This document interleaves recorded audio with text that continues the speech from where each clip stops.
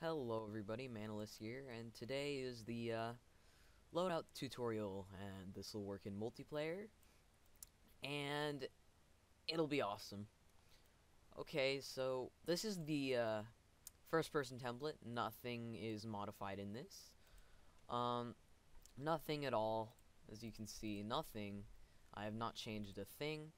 Uh, if we go and hit play, it's the same old, same old you know, shooting the boxes, making them bounce around. Um, so, to get started, we are going to go into the first person blueprint. And over here in the first person blueprint, there's much to do. Um, first off, we are going to set the mesh to No. Just no. Only owner see. No, we don't want that. We want to see our stuff, okay? So, now, this should, because there's a rendering problem that I, I would have in the middle. So, you can see, we have the balls. We're shooting at each other. It's great. It's wonderful. Yes. Okay? So, we're here.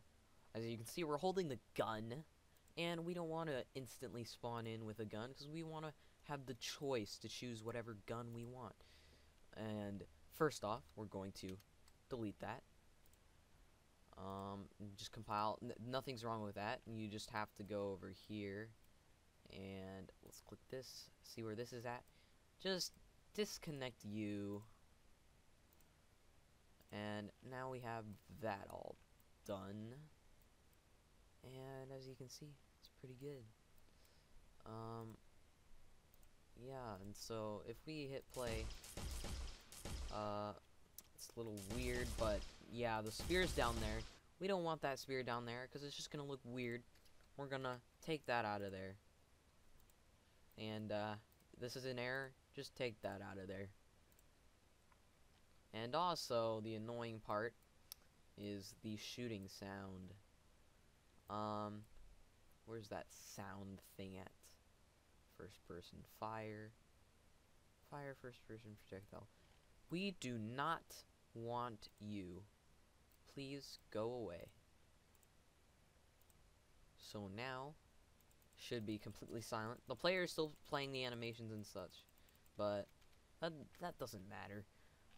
First off, since we deleted that gun, we're going to go back and we're going to the first person.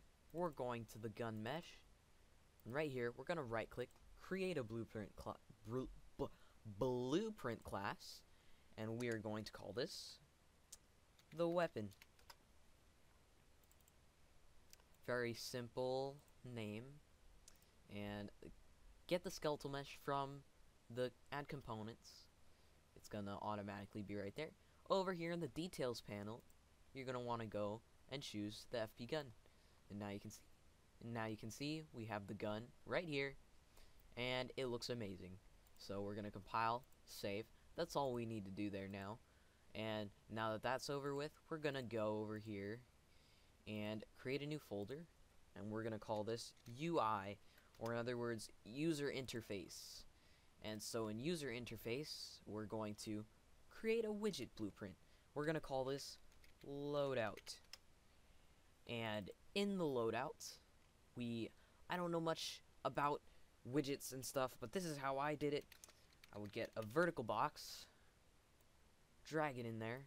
It's pretty small as you can see, so we're going to make it a lot bigger. And so it's going to take up much of the screen. But then we're going to get a button. Now this button will be the what we click to spawn in the gun into our hands. We're gonna add padding there. How about 10, just to make it look nicer, neater. Um, then we're gonna get text, and we're going to put that right there, and we're gonna call it weapon, or let's give it some real name, M4A1. There we go, M4A1, right there. Compile, save. Now, now that we have that, over here, top up here, first person character. We're going to go into the first person character. And over here, we are going to create four custom, no, not four, two custom events, my bad. Add custom, oh, custom event. And we're just gonna control W that, just to copy paste, quick, fast, and easy. We're gonna call this run on server spawn M4A1. And we're gonna do th on this, we're gonna call this multicast spawn M4A1. So now that we have these on run on server spawn, oh my bad, that I guess I had caps on, but who cares? We got run on server spawn, and we are going to set this to run on server, and multicast, we're going to set this to multicast. Very simple. And off of run on server, we're going to drag off and call the multicast. Caps lock is on. Uh, multicast spawn M4A1. We're calling this. This is a copy of this. Um, so now we have the multicast here. And what you want to do is spawn actor from class. So now we have spawn actor from class. Now we're going to look up our weapon. Our weapon, whatever we created. Our weapon, for example, our weapon is over here in the mesh. This is our weapon. We're calling this actor. Uh, right here, we're spawning it. And then we are going to grab mesh 2p. And we're going to drag off of this and get socket transform. Now, here's this get socket transform. And what I can recall is the socket name is grip point. And that's what is going on over there.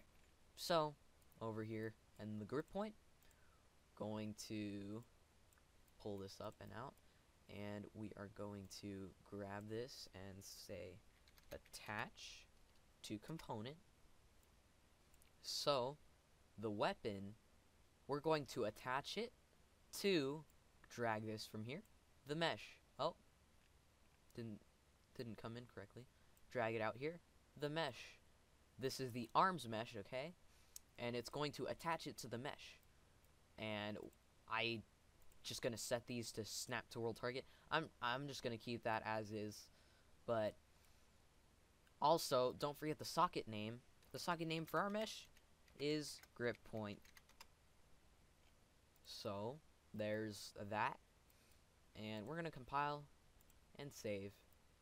Now, not to forget anything at all from this, we are going to go back into the loadout menu and add the functionality of the button.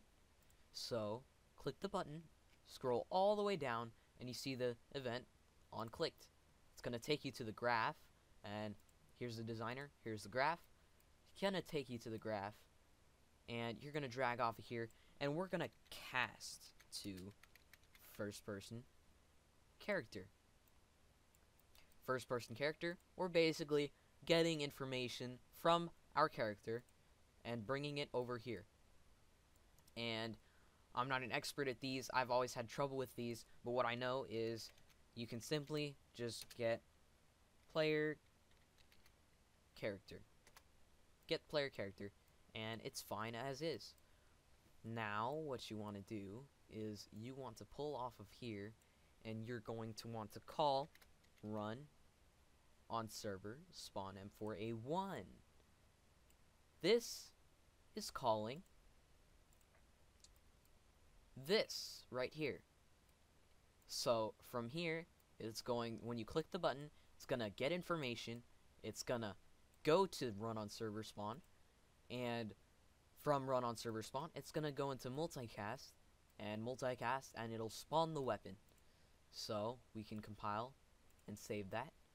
And so, you'll notice that when you hit play, nothing's gonna happen.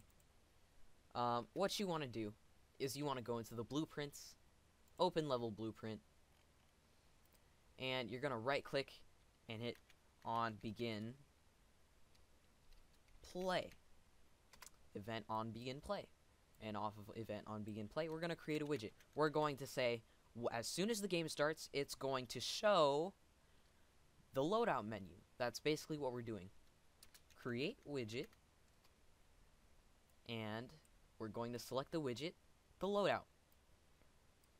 So now we have the loadout and just for this we're going to say um, get oh get player controller for replication purposes. And also we're going to say set or not set show mm, set show mouse cursor. So this will show the mouse cursor uh, as soon as the uh, thingy is spawned the the widget is spawned. And off of the widget we're going to say add to viewport. So now you have the add to viewport and you just connect it to there. Nothing needs to be messed with over here. As soon as we compile, save, we can hit play. And as you can see, in the, oh, my bad, something's, oh, yeah, my bad. Uh, don't forget to click this, check it, make sure, yes, show the mouse. And so, now, you can see the mouse. We're going to tap the M4A1 and boom. And as you can see over here, I sorry you guys didn't get a good view. As you can see over here, the preview client can see that the server is holding a gun in their hands. Look at that. Isn't that amazing? Now, over in the client, we're going to click M4A1. And would you look at that? It has spawned the M4A1. It's replicated, and it is ready for your loadout menus.